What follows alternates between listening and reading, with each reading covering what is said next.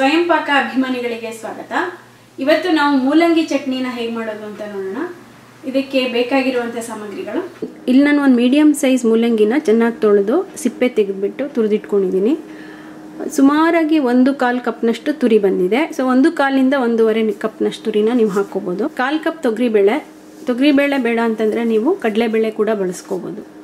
ಕಾಲು ಕಪ್ನಷ್ಟು ತೆಂಗಿನಕಾಯಿ ತುರಿ, ಎರಡು ಗೋಲಿ ಗಾತ್ರದಷ್ಟು ಹುಣಸೆ ಹಣ್ಣನ್ನು ಚೆನ್ನಾಗಿ ತೊಳೆದು ನೀರಲ್ಲಿ ನೆನೆಸಿಟ್ಕೊಂಡಿರಿ. ಐದರಿಂದ ಆರು ಬ್ಯಾಡಗಿ ಮೆಣಸಿನ್ಕಾಯಿ. ಮೆಣಸಿನ್ಕಾಯಿನ ನೀವು ಹೆಚ್ಚು ಕಡಿಮೆ ಹಾಕ್ಕೋಬೋದು. ಹಸಿರು ಮೆಣಸಿನ್ಕಾಯಿನ ಕೂಡ ಬಳಸ್ಬೋದು. ಆದರೆ ಈ ಮೂಲಂಗಿ ಚಟ್ನಿಗೆ ಕೆಂಪು ಮೆಣಸಿನ್ಕಾಯಿ ಚೆನ್ನಾಗಿರುತ್ತೆ.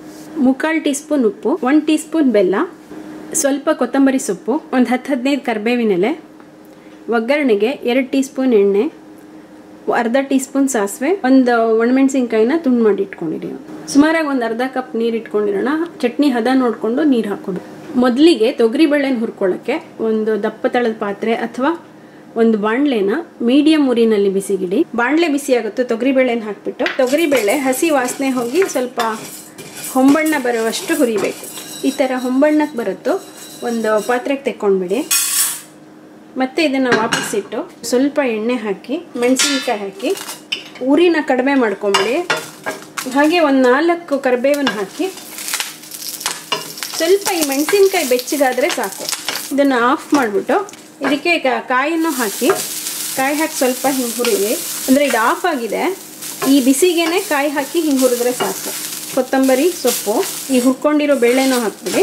ಮೂಲಂಗಿನೂ ಹಾಕಿ ಮೂಲಂಗಿನ ಬೇಯಿಸ್ಬೇಕಾಗಿಲ್ಲ ಸುಮ್ಮನೆ ಇದ್ರ ಜೊತೆಗೆ ಹಾಕಿಟ್ರೆ ಸಾಕು. ಪೂರ್ತಿ ಆರಲಿ ಇದು. ಆರಿರೋದನ್ನು ಒಂದು ಮಿಕ್ಸರ್ ಜಾರ್ಗೆ ಹಾಕ್ಕೊಂಡಿದ್ದೀನಿ ಇದ್ರ ಜೊತೆಗೆ ಬೆಲ್ಲ, ಹುಣಸೆ ಹಣ್ಣಲ್ಲಿ ಬೀಜ ಮತ್ತು ನಾರುಗಳಿದ್ರೆ ಅದನ್ನು ತೆಗೆದುಬಿಟ್ಟು ನೀರು ಸಮೇತ ನೆನೆಸ್ಕೊಂಡು ಇಟ್ಕೊಂಡಿರೋದನ್ನು ಹಾಕಿ, ಉಪ್ಪು.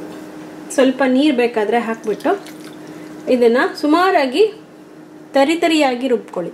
ತಿರುಗಿಕೊಂಡಿರೋದನ್ನು ಒಂದು ಬೌಲಿಗೆ ತೆಕ್ಕೊಳ್ಳಿ. ಅನ್ನಕ್ಕೆ ಕಲಿಸ್ಕೊಳ್ಳೋದಾದರೆ ಇದನ್ನು ಸ್ವಲ್ಪ ಗಟ್ಟಿಯಾಗಿ ತೆಕ್ಕೊಳ್ಳಿ. ದೋಸೆ, ಚಪಾತಿ, ಇಡ್ಲಿ ಆ ಥರದಕ್ಕೆ ಉಪಯೋಗಿಸ್ಕೊಳ್ಳೋದಾದರೆ ಸ್ವಲ್ಪ ನೀರು ಹಾಕ್ಕೊಂಡ್ರೂ ಪರವಾಗಿಲ್ಲ. ಅನ್ನ ಕಲಿಸ್ಕೋಬೇಕಾದ್ರೆ ಚಟ್ನಿ ಸ್ವಲ್ಪ ಗಟ್ಟಿಯಾಗಿರಲಿ. ಚಟ್ನಿ ಈ ಹದಕ್ಕೆ ನಾನು ಅರ್ಧ ಕಪ್ನಷ್ಟು ನೀರನ್ನು ಹಾಕ್ಕೊಂಡಿದ್ದೀನಿ ತಿರುಗಬೇಕಾದ್ರೆ. ಇದಕ್ಕೆ ಈಗ ಒಗ್ಗರಣೆ ಹಾಕೋಣ. ಒಗ್ಗರಣೆಗೆ ಎರಡು ಟೀ ಸ್ಪೂನ್ ಎಣ್ಣೆನ ಒಂದು ಒಗ್ಗರಣೆ ಸೌಟಲ್ಲಿ ಮೀಡಿಯಮ್ ಉರಿನಲ್ಲಿ ಬಿಸಿಗಿಡಿ. ಎಣ್ಣೆ ಬಿಸಿ ಆಗುತ್ತೋ. ಸ್ವಲ್ಪ ಹಿಂಗೆ ಹಾಕಿ ಸಾಸಿವೆ. ಸಾಸಿವೆ ಕೆಟ್ಬಿಟ್ಟು ಮೆಣಸಿನ್ಕಾಯಿ. ಮೆಣಸಿನ್ಕಾಯಿ ಹಾಕೋತು ಒಂದು ನಾಲ್ಕು ಕರ್ಬೇವು ಹಾಕಿ ಆಫ್ ಮಾಡಿಬಿಟ್ಟು ಇದನ್ನು ಚಟ್ನಿಗೆ ಹಾಕಿದ್ರೆ ಹಸಿ ಮೂಲಂಗಿ ಚಟ್ನಿ ರೆಡಿ ಇದನ್ನು ನೀವು ಅನ್ನದ ಜೊತೆ ರೊಟ್ಟಿ, ಚಪಾತಿ, ಹಾಗೆ ಇಡ್ಲಿ, ದೋಸೆ ಜೊತೆ ಕೂಡ ಚೆನ್ನಾಗಿರುತ್ತೆ. ಮೂಲಂಗಿ ಚಟ್ನಿನ ಹೇಗೆ ಮಾಡೋದು ಅಂತ ನೋಡಿದ್ರಲ್ಲ, ನೀವು ಕೂಡ ಇದನ್ನು ಮಾಡಿ ನೋಡಿ ನಿಮ್ಮ ಅಭಿಪ್ರಾಯನ ಖಂಡಿತ ತಿಳಿಸಿ. ನಮಸ್ಕಾರ.